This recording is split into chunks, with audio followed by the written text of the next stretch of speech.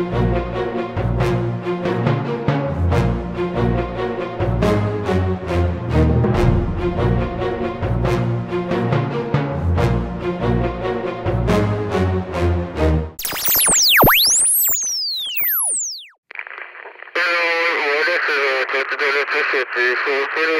all, it's Martha Roberts here.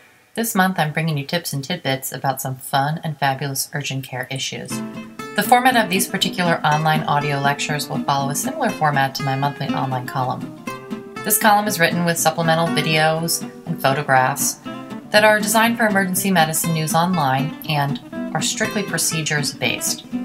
It's called the procedural pause. When my good old dad is not lecturing me about how to save for retirement, which, by the way, I'm still not doing, he contributes to our online project. The dude, Dr. Jim Roberts, stars in a few videos as well as adds a few clinical pearls to the topics as well. I urge you to check these videos and these articles out.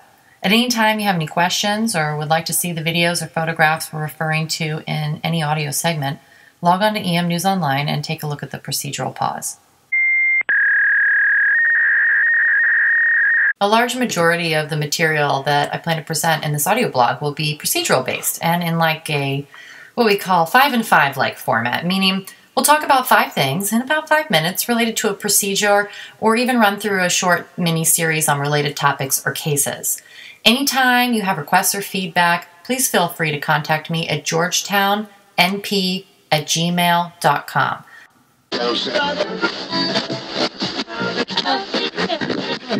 One of our very first procedural pause topics discussed our fascination with finger complaints and hand procedures. It's pretty clear that we take our 10 fingers for granted because when one of those buddies is not working right, it's totally, it screws everything up. Seriously, it just, it's so annoying. You can't type, you can't throw a ball, you can't write normally with a pen. You can't poke your older brother. You can't pick your nose with that particular finger anymore. And you really you can't believe how even the tiniest of injuries can hurt, like really bad. Yeah, they, they, they really hurt. I have been lucky enough to work with a really stellar hand surgeon, Dr. Vinny Meehan, here in Virginia. He's taught myself and many of my colleagues quite a bit about care for complex hand issues. I thought I would start off simple by discussing something you can totally handle yourself. Yes, the paronychia. Such a cute little name for such an annoying little issue.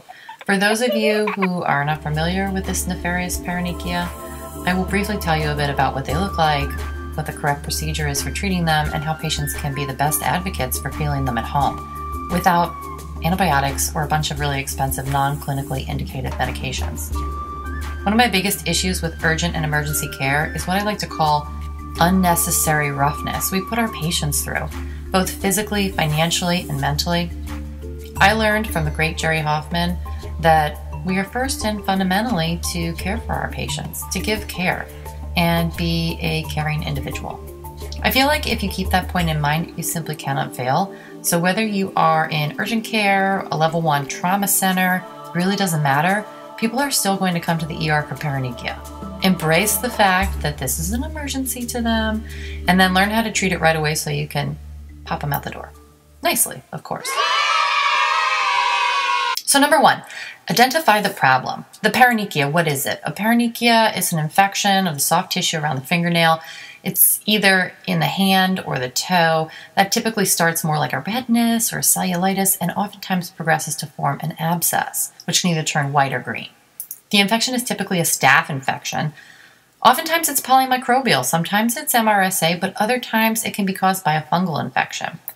The worst type of complication from a paronychia would be the formation of what is called a felon, which is a significant pus formation under the tuft of the finger and around the nail. There are almost always a need to have these surgically drained, so these require close follow up. If you have a simple paronychia show up in house that does not look that angry, there are some simple tricks that you can try. By the time this patient arrives to see you in the ED, most likely they need the paronychia poked. Paronychia are typically swollen, warm, tender, erythematous, and sometimes, like I said, you can see that small amount of pus leaking around the nail base.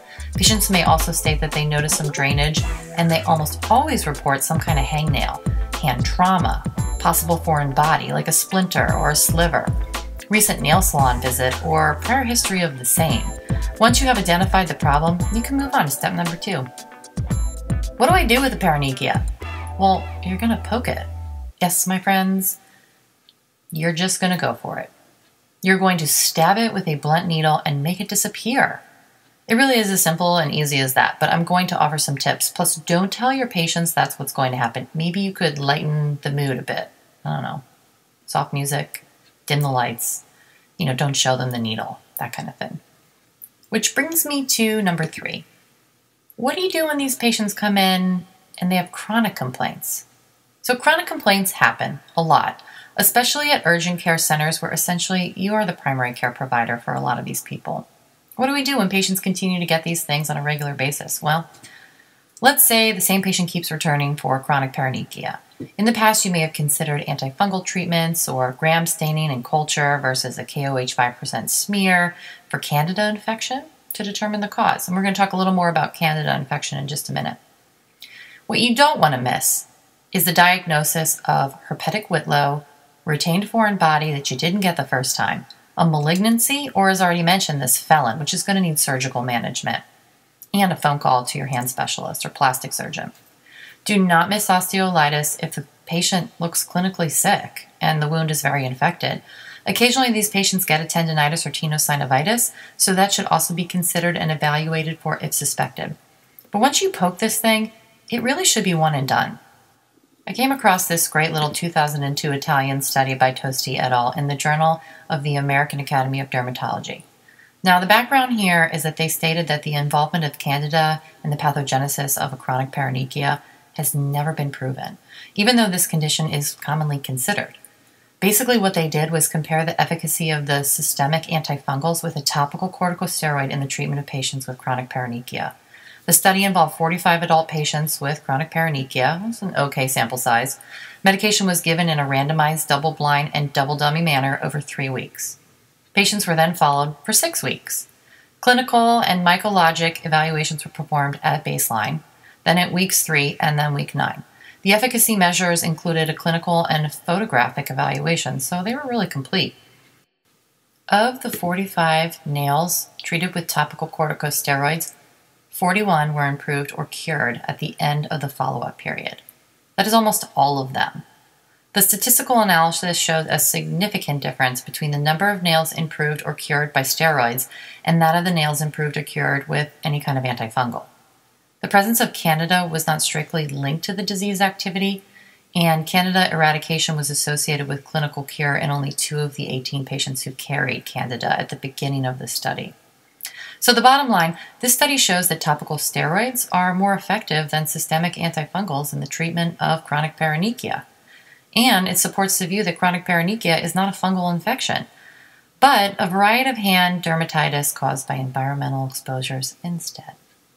Fungus, we are not blaming you this time, but we might in the future. This is yet another reason why I love steroids. I love them. I love them! Number four, Sorting through the data.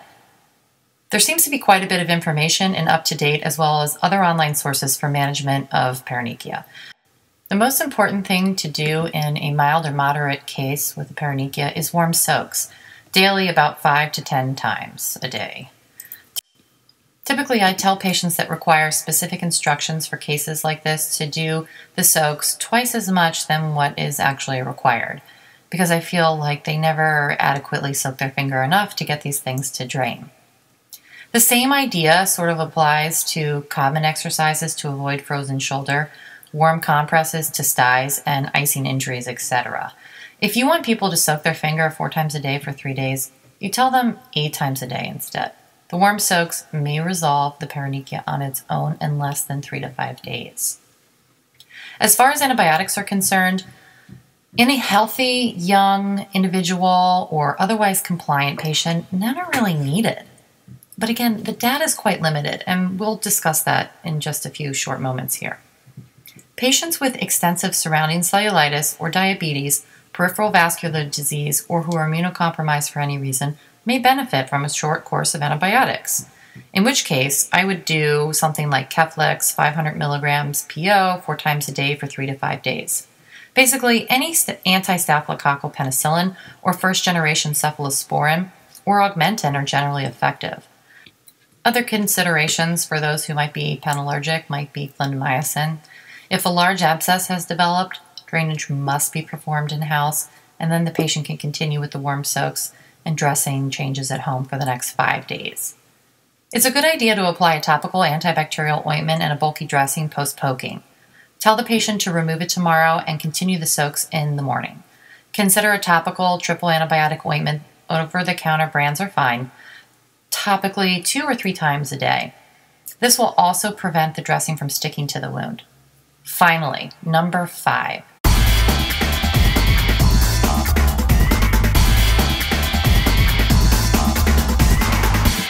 The best part of this run of the mill nail infection is poking these little suckers. Poke, poke, poke, poke, poke, poke, poke, poke, poke, poke. What is more satisfying than draining a pus-filled paronychium? Everybody loves a good abscess. Seeing the look of relief on the face of your patient when his painful pulsating digit is relieved of all that tension, whew, gives me chills. Okay, no, not really. That would be weird. This rather elementary procedure could be perceived as stale and uneventful for some of you, but the more thorough and astute clinicians, however, realize these tiny infections around the nail root may open the door to a mixed bag of insidious and harmful bacterial infections, including MRSA, chronic reoccurrences, cellulitis, subungual abscesses, osteomyelitis, herpetic whitlow, or even the dreaded felon, as we already mentioned. Whatever your pleasure, this routine procedure requires a quick and steady hand, literally, and a caring, thoughtful provider. It is important not only to provide immediate and proper pain relief through possible digital nerve block, hmm, might need to be done, but also prevent a bounce back patient who did not understand the discharge instructions.